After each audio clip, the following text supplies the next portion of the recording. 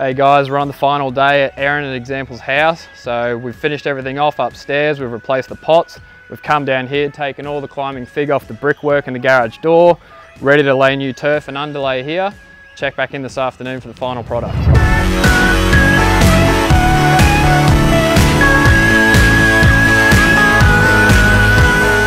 Hello everyone, it's day five here.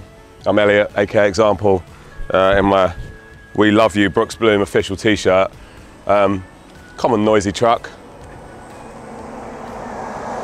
And um, look who's joined us. What do you think of our new garden? Um, Gardens. Gardens. No, it's it's incredible.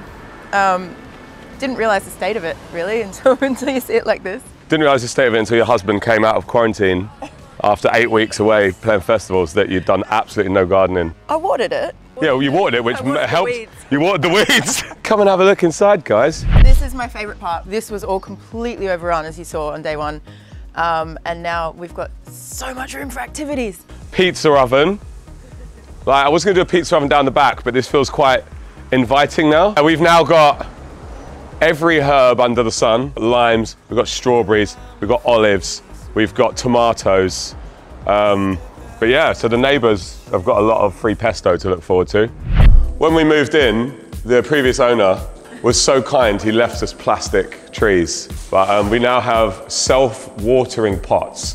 The water goes through the soil, gets captured in, through a filter in the bottom, and then sent back up into the water again. So it's just like, this was completely overgrown, probably overhanging over here. You couldn't even see the edge of the grass. If we lost a football, sometimes you wouldn't see it for six months. Um, now you can lose a football and get it the same day. Show Danny Vanny, show us how the den works. Can you get in there and show us what it would look like seeing a small child in the den? And the amazing thing is Brooke didn't even charge us for this. Over here we had a disgusting pot with a disgusting plant in it. Now we've got another pretty pot with a pretty plant. Everything matches now. It's all very classy. It's all very Brooke's Blooms, very on brand.